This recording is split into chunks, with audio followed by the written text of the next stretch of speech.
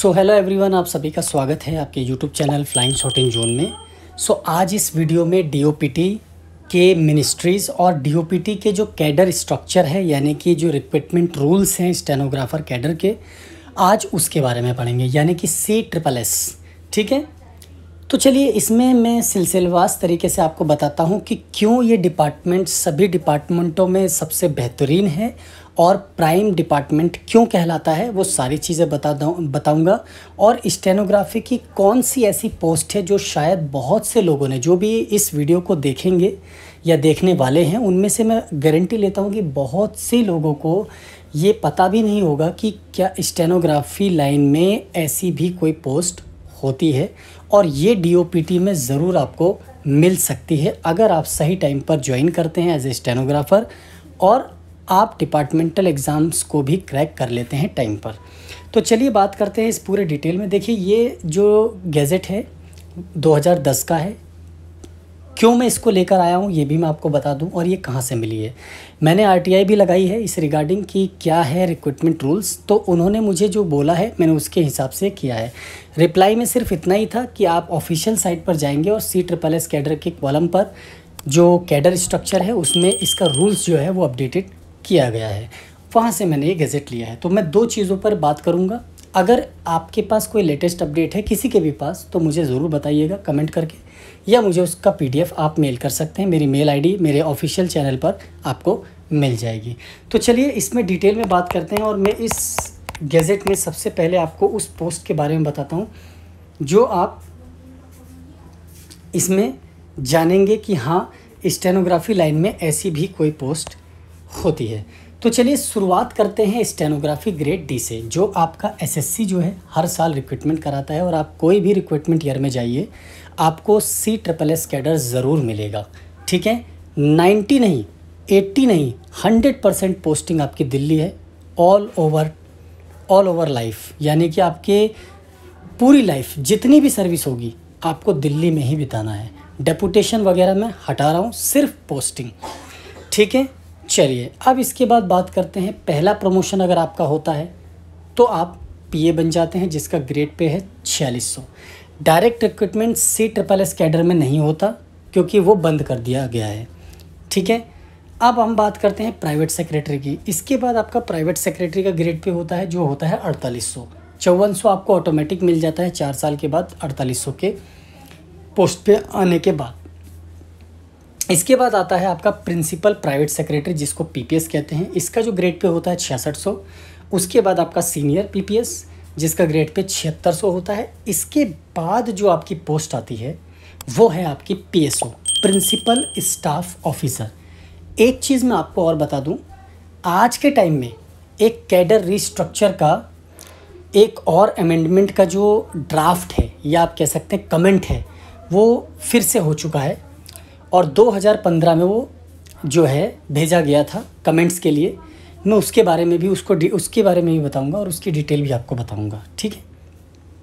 तो चलिए, ये जो पोस्ट है पीएसओ ये बहुत ज़बरदस्त पोस्ट है और आप यकीन मानिए as a senior joint secretary जो आई लेवल का होता है, उसके बराबर रुतबा होता है। ऐसी पोस्टों में आप मिनिस्टर्स के साथ ही लगे होंगे और इतने बड़े बड़े मिनिस्टर्स के साथ आपके पास joint secretary even secretary level तक के पर्सनस आपके पास आएँगे, आपके मिनिस्टर से मिलने या फिर किसी काम के लिए। तो समझ जाइए कितनी बेहतरीन पोस्ट है ये और आपको कितना बड़ा रुतबा दे सकती है। तो चलिए, अब ये तो थी हमारी वो पोस्टें जिनमें आपका प्रमोशन होता है या फिर आप लिमिटेड डिपार्टमेंटल एग्ज़ाम देते हैं। तो अब हम बात करेंगे पूरी डिटेल में आखिर कैसे और क्या क्या क्राइटेरिया हर स्टेप यानी कि स्टेनोग्राफी लाइन से लेकर सीनियर पीपीएस बनने तक या पीएसओ बनने तक आपको यह है cadre reviewing of central secretariat stenographer service 2015 देखिए 2015 का डाटा है और इवन हो सकता है इसमें अमेंडमेंट किया भी जा चुका हो या हो सकता है नहीं भी हुआ हो। लेकिन मुझे रिप्लाई में ऐसा कुछ नहीं मिला तो मैं मान सकता हूँ कि इसमें कोई चेंजेस नहीं हुए हैं अभी फ़िलहाल के लिए। ठीक है, और हर दस साल, आठ साल में आपका जो कैडर रिस्ट्रक्चर है, वो होता रहता है। चाहे आप किसी भी मिनिस्ट्री में जाएँ और आपको ये भी बता देता हूँ कि जो डीओपीटी की मिनिस्ट्रीज़ हैं, जो आपने अभी गैजेट देखी, इसका मैं पीडीएफ लिंक आपको डिस्क्रिप्शन पर दे दूँगा। आप वहाँ से देखिएगा, इसमें बहुत सारी मिनिस्ट्रीज़ हैं जिसमें यही सेम रूल चलता है, ठीक है? हाँ ब्रॉडकास्टिंग एंड कम्युनिकेशन ऐसे बहुत सारे डिपार्टमेंट हैं। तो आप वो भी देख लीजिएगा कि कौन सा डिपार्टमेंट है और उसमें डीओपीटी का ये सेम रूल जो है फॉलो किया जाएगा। तो यानी कि आप एक रूल से कई डिपार्टमेंट्स को कवर कर लेंगे। तो चलिए अब हम बात करते हैं कैडर रिस्ट्रक्चरिंग में क्यों लेकर आया हूँ। तो इसमें जो है आपका पूरे डिटेल में दे रखा है कि आप कितने एग्ज़ाम्स को कब कब दे सकते हैं और कैसे आपका जो प्रमोशन है, वो किस लेवल से किस लेवल पर किया जाएगा। ठीक है? तो सबसे पहली चीज़ मैं आपको ये बता दूँ कि जब आप स्टेनोग्राफी पे लाइन पे आते हैं, यानी कि आप जब एसएससी के थ्रू स्टेनोग्राफी लाइन में आते हैं तो आपको 2400 ग्रेड पे का जो पोस्ट है, वो इसमें सी ट्रिपल एस कैडर में दिया जाता है। ठीक है? और जब आप छियालीस सौ के लिए जाते हैं, यानी कि पीए बनते हैं, तब आपका जो है, या तो प्रमोशन होता है, या लिमिटेड डिपार्टमेंटल एग्ज़ाम होता है। तो देखिए, अब सबसे इंपॉर्टेंट चीज़ है, मैं आपको जो बताने जा रहा हूँ। सबसे पहला जो पोस्ट है, आपकी स्टेनोग्राफी ग्रेड डी है। ये जो पोस्ट है, आपकी डायरेक्ट रिक्रूटमेंट के थ्रू होती है, और ये एसएससी हर साल कराता है, जैसा आप लोग सभी जानते हैं। चौबीस ग्रेड पे की पोस्ट है। इसके अलावा कोई भी पोस्ट डायरेक्ट रिक्रूटमेंट में नहीं आती एस के थ्रू, ठीक है? अब हम चलते हैं stenographer grade D, personal assistant. अगर आप स्टेनोग्राफर से पीए बनना चाहते हैं तो आपके पास minimum six years of eligible service होनी चाहिए लिमिटेड डिपार्टमेंटल कॉम्पिटिटिव एग्जामिनेशन के लिए, या फिर ten years of eligible service होनी चाहिए as a stenographer grade D तो आप पीए के लिए एलिजिबल हो जाते हैं। तो दो तरीके से प्रमोशन है। एक है हमारा प्रमोशन जो आपका सीनियोरिटी बेसिस पे होता है, और एक है एलडीसी जैसा रेलवे में मैंने आपको बताया था, और D D triple S B के न्यू रूल्स के अकॉर्डिंग मैंने आपको बताया था। ठीक है? तो सेम है, कोई प्रॉब्लम नहीं है। सिर्फ़ प्रॉब्लम क्या है? जो रेशियो है वो अलग अलग है हर डिपार्टमेंट में। फ़िलहाल अभी 2010 के हिसाब से आप गैजेट में देखिएगा 50 50 का रेशियो है। यानी कि 50 परसेंट आपके एल से जाएँगे पीए बनकर और 50 परसेंट आपके सीनियोरिटी बेसिस पे जाएँगे। अब मैं आपको बताता हूँ प्रॉब्लम कहाँ पर आती है। ये जो मैंने रूल लिया है, ये जो मेरे पास रूल है, वो है एक कैडर रिस्ट्रक्चरिंग का या कुछ रूल्स को चेंज करने का। और इस रूल में क्या होगा कुछ चेंजेस क्या होंगे कि जो आपका लिमिटेड डिपार्टमेंटल कॉम्पिटिटिव एग्ज़ाम है, उसके रेशियो को कम करके सीनियरिटी बेसिस पे जो प्रमोशन है, उसको बढ़ाया जाएगा। इसका तर्क डिपार्टमेंट ने ये दिया है कि जो अफसर हैं, भैया आपकी क्वांटिटी है कम और अगर आपकी क्वांटिटी है कम तो ज़ाहिर सी बात है कम क्वांटिटी को कोई देख भी लेता है तो कई बार दिखता भी नहीं है, क्योंकि चश्मा लगाना पड़ता है मोटा मोटा इसीलिए स्टेनोग्राफर को इग्नोर किया जाता है। यही वजह है कि लिमिटेड डिपार्टमेंटल कॉम्पिटिटिव एग्जामिनेशन से बहुत कई बार ऐसे होते हैं कि जो वैकेंसीज़ हैं वो फिल नहीं हो पाती। और लोगों का प्रमोशन अटका रह जाता है सी, इवन सीनियोरिटी बेसिस पे भी। इसी वजह से सीनियोरिटी बेसिस पर वैकेंसी को क्रिएट किया जाए ज़्यादा से ज़्यादा। इसलिए 2015 में ये जो कमेंट्स हैं वो पूछे गए हैं मिनिस्ट्रीज़ या जो कंसर्न डिपार्टमेंट है उनसे। ठीक है तो आप समझ गए मेरी बात? क्लियर हुआ? पीए आप बन गए।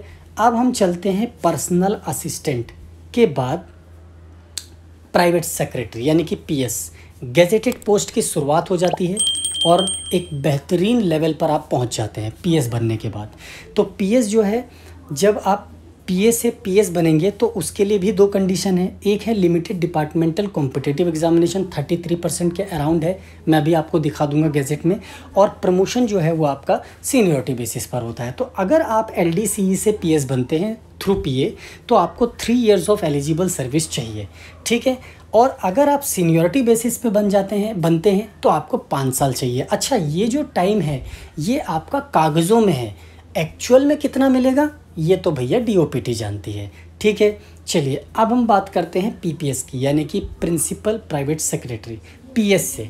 तो इसमें सिर्फ़ और सिर्फ़ प्रमोशन होता है। Six years of eligible service आपकी होती है तो आप सीनियरिटी बेसिस पे पीपीएस बन जाते हैं।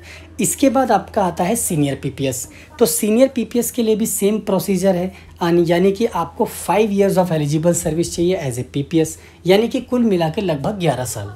ठीक है?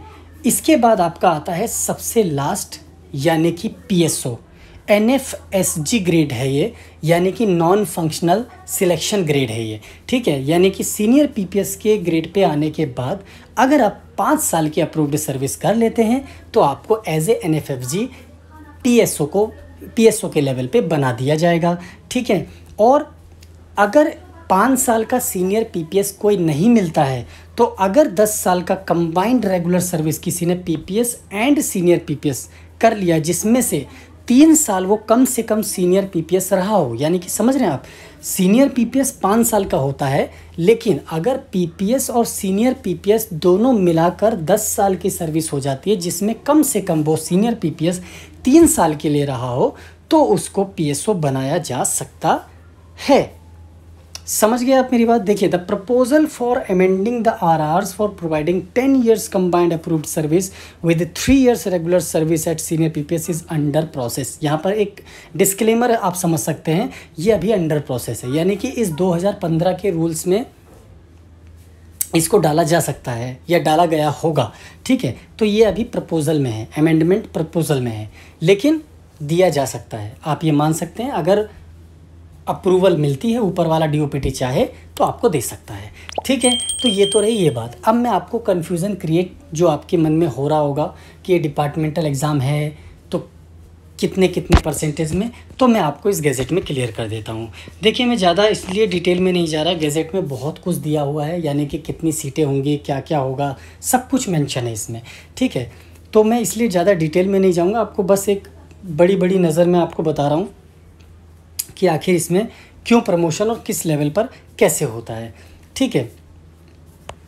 तो चलिए, अब मैं आपको बताता हूँ, देखिए पीए पीए का जो रूल है, आप देख रहे होंगे रूल नंबर ग्यारह के फ़र्स्ट में फिफ्टी फिफ्टी यानी कि फिफ्टी सीनियोरिटी बेसिस पे होगा और फिफ्टी आपका जो है एलडीसी के बेसिस पे होगा। ठीक है? उसके बाद जब आप पीएस लेवल पर आते हैं तो यहाँ पर जो लेवल है वो थोड़ा सा चेंज है। सिक्सटी सिक्स परसेंट आपका जो होगा वो सीनियरिटी बेसिस पे होगा और जो thirty three point three three percent rule number दस और फ़र्स्ट में देखिए thirty three point three three percent जो है वो आपका competitive limited departmental competitive examination के थ्रू होगा। इसमें कुछ ज़्यादा नहीं है, इतना ही सिंपल था। हाँ ये ज़रूर है कि जो आपका इनिशियल लेवल का प्रमोशन है, वो थोड़ा सा स्लो है। स्लो क्यों है? वो आपको मैंने तर्क पहले ही बता दिया था। लेकिन अगर आप इस मिनिस्ट्री में बहुत यंग एज में लग जाते हैं 18 से 19 साल में लग जाते हैं तो ये 99 परसेंट आपके चांस है कि आप इवन सीनियर पीपीएस बन के तो रिटायर होंगे ही होंगे और आप senior as a senior PPS तीन से चार चार साल की सर्विस आप दे देंगे। सेंट्रल गवर्नमेंट में डीओपीटी में और बहुत बेहतरीन बेहतरीन मिनिस्ट्रीज़ हैं, जो मैंने आपको बताया था कि इसमें कितनी मिनिस्ट्रीज़ हैं। तो आप इस डीओपीटी के इस गैजेट को देख लीजिएगा। देखिए, यहाँ पर लगभग लगभग आपको तकरीबन 40 मिनिस्ट्रीज़ मिलेंगी, जो डीओपीटी के रूल्स को फॉलो करती है। यानी कि 40 मिनिस्ट्रीज़ के जो रूल्स हैं, वो इस गैजेट में है। सो so गाइज़ अगर ये वीडियो इन्फॉर्मेशन आपको अच्छी लगी हो तो लाइक और शेयर कर देना। अगर आप चैनल पे नए हैं तो चैनल को सब्सक्राइब ज़रूर कर लें। और अगर आपको कोई प्रमोशन या इससे डिटेल चाहिए तो कमेंट में बताएँ। मैं ज़रूर आप तक ऐसी वीडियो लाने के लिए पूरी कोशिश करूँगा। Thank you so much